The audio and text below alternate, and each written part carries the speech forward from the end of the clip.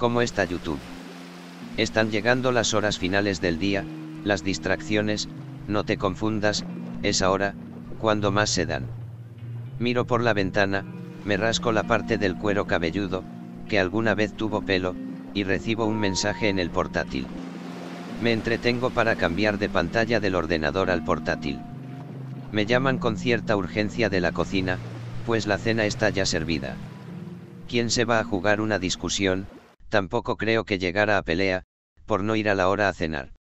Me meto entre pecho y espalda, lo que un hombre de mi edad no debería para cenar desde hace años, y después del postre, vuelvo al ordenador. Miro la pantalla, y YouTube, ya me ha encalomado 35 minutos, de un anuncio de casi una hora. Lo primero, ¿a quién se le ocurre, poner un anuncio de casi una hora, en un medio como YouTube? Un anuncio que más parece un documental de la 2, de los que todos veían y luego no veía nadie. Segundo, cómo se enteró la sibilina IA de Google en YouTube, que según cuenta las visitas y lleva los canales, es poco más que un enano metido en una carcasa de hierro, al estilo R2D2, o los Dalek, del Dr. Who. ¿Cómo se enteró? La IA sibilina, que no volvía a mirar hasta después de cenar. Tercero, ¿cómo sabían que iba a cenar? Esta me la contesto, antes de que lo hagas tú, supongo que mi micro captaría los gritos de a cenar, entre comillas y exclamaciones, toma recursazo, o incluso el micro de todos los vecinos del bloque, en base a la intensidad del grito. Hubo una semana seguida de anuncios, de Globo y Justit, en los móviles de todos los vecinos del bloque. Y lo más importante, y para terminar. Reflexión, dos puntos, si cobran los anuncios por tiempo, por cuánto le va a salir la broma al anunciante, por un anuncio que, nunca nadie vio.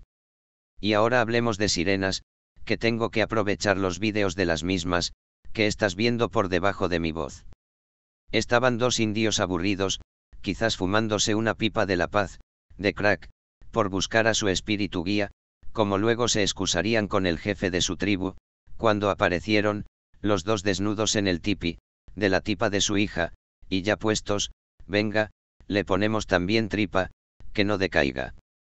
Estaban dos indios como decíamos aburridos en la ribera del río Grande, cuando vieron bajar mecida en la corriente calmada, a una sirena, uno tuvo tiempo de sacarla del río, agarrándola por debajo de los brazos, para mostrársela al otro, al poco tiempo la devolvía a la corriente del río, con una mueca de contrariedad en los labios. Entonces su compañero le pregunta. ¿Por qué? entre interrogaciones. Y el otro le responde aún con su mueca de contrariedad en los labios. ¿Por dónde? Si eres un poco corto, imagínate a la sirena de cintura para abajo. Ahí lo tienes. Y después de este chiste de sirenas, sí que comenzamos, a leerte la Wikipedia, cosa muy común en nuestros días. Las sirenas, en griego antiguo, seirna, pl, seirnes, las que atan y desatan barra encadenan, quizá relacionado con el semítico sir, canto, y con el griego, quimaira, quimera, son criaturas marinas mitológicas pertenecientes a las leyendas y al folclore. Y el que sepa y escriba en griego, que le lleve la contraria. Seguimos. Originalmente, en la antigüedad clásica, se las representaba como seres híbridos con rostro o torso de mujer y cuerpo de ave, similares al va de la mitología egipcia. Aquí hago un inciso en el que te pongo una fotografía del hermoso va, de la mitología egipcia, o si la encuentro, otra de Baal, de la mitología cananea, confundido por los cristianos en sus escrituras con Moló, para que puedas votar, a tu rey del baile favorito.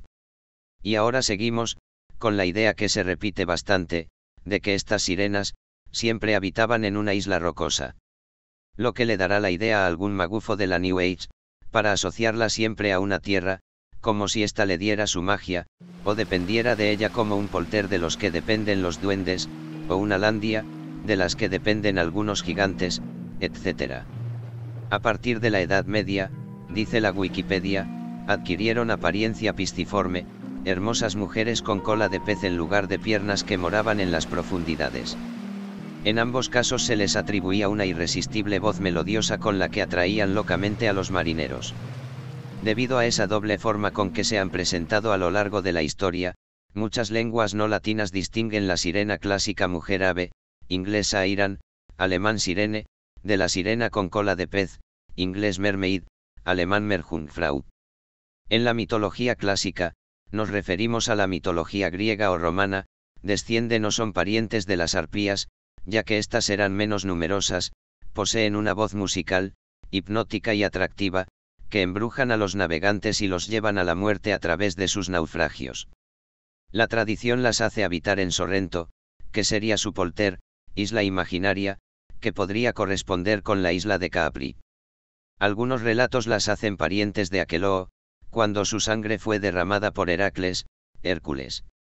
Aqueloo era el dios del río Aqueloo, entre Etolia y Acarnania, y el más antiguo y poderoso de los espíritus del agua en Grecia. Con intervención femenina de las musas Estérope, Melpomene o Terpsícore, relacionadas con el canto y el baile, o sin ninguna intervención femenina en otras. Su número son entre 2 y 5, pero como las reliquias en la Edad Media se multiplican teniendo ya referencia de al menos 10 con sus nombres. Los nombres registrados incluyen Aglaope, la de bello rostro, Telsiepia, de palabras aclamantes, o Telsinoe, deleite del corazón, Pisinoe, la persuasiva, Parténope, aroma a doncella, Ligeia, empleado luego por Edgar Allan Poe para el célebre cuento homónimo sobre una mujer de mortal belleza, Leucosia, ser puro, Molpe, la musa, Radne, mejoramiento, y Teles, la perfecta.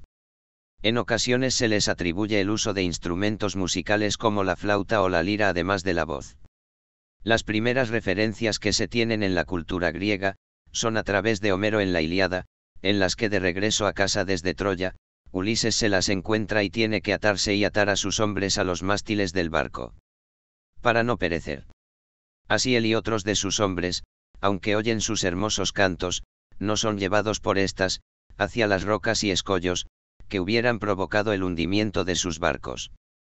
Pero aparecen en otras mitologías, si es que el propio uso de esta acepción, se puede utilizar con propiedad en otras culturas, no dependientes del griego y el latín, pero estas serán para otro vídeo de sirenas, ya que este se acaba ya, recomendándote ver, si no tienes nada mejor que hacer, la película 123, Splash, de 1984, para que conozcas su vertiente más cómica, de lo que empezó en tiempos, siendo tan dramático.